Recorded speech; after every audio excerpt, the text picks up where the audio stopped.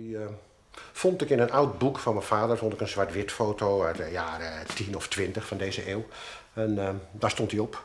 En toen kreeg ik dus een soort verlangen om daarheen te gaan, omdat het er zo geheimzinnig uitzag, dat gat. Dat gat is niet door mensen gemaakt, maar het is gewoon door de natuur daarin gesleten.